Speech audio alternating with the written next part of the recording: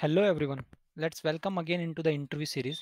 So today in this uh, video, we will uh, try to discuss about the interview process of the known company that is a to the new. So this company has a good market reputation into the industry and this is started on 2008 and you know that in 2009 there is a so much recession came so somehow it is managed and now he is into the good roadmap also so i will try to cover uh, the things here like uh, they are basically dealing into the latest technology that uh, cloud based and all and they have very good list of uh, customer that is uh, come under the fortune 500 company or silicon valley things. So that is a very good about to start the career. Let's start with the interview process for this one. So here i will try to cover the interview process with .NET with the Angular. We'll cover here C Sharp, .NET Core, SQL, and the puzzle. So these are the four steps they go through one by one. So let's start with the C Sharp first. So in the C Sharp, they started with the var and dynamic. So you need to mention like var is give the compile time behavior and dynamic is giving the runtime behavior and put some of the valid example here after that static and singleton. So the static you need to explain like what is the benefit of the static and the singleton like uh, create the single instance to serve all the request and all. And uh, yeah so the things you need to explain here little bit more. The other one is sealed class. So sealed class uh, we need to explain like because of that uh, we know we are restricted to inherit that particular class further any inbuilt class which can't be inherited. So there we need to mention the sealed class again or the static class you can also mention because the static class internally using the sealed one.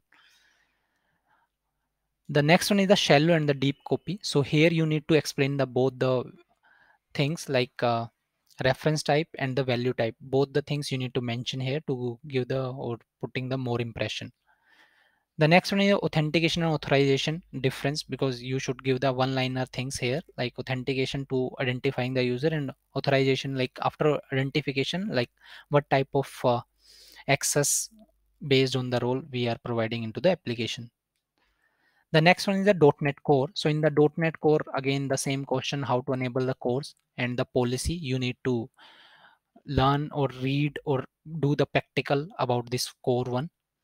And uh, other one is the Kestrel server. So the Kestrel server that is a very well known uh, Kestrel server into the .NET Core because that is the cross uh, it providing the like uh, platform independent things like cross platform things to work on our uh, app code because previously you know that our .NET code is working only onto the window machines and all now because the Kestrel server it is compatible with the all type of uh, server. Or you can say it is internally using the nginx and all. So you need to read about more about this server and all how it is helping us to achieve this cross platform and all. The thing is how di work into the core. So the di you need to explain the all the three type of uh, di way like scope wise so there you can see like uh, we need to add the transient scope and the singleton so whenever you are doing like this one so here you are giving the relation like uh, uh, how the interface uh, which interface is uh, implemented by which class so by this you can directly access this thing into the constructor side of the controller and access this one so it's a it's a one of the design pattern you can say is the da so that is uh, inbuilt provided by the .NET Core. Other one is the database. So in the database, they ask me about how to get the many to many relationship. So you need to give the explanation and create the some structure there for this one.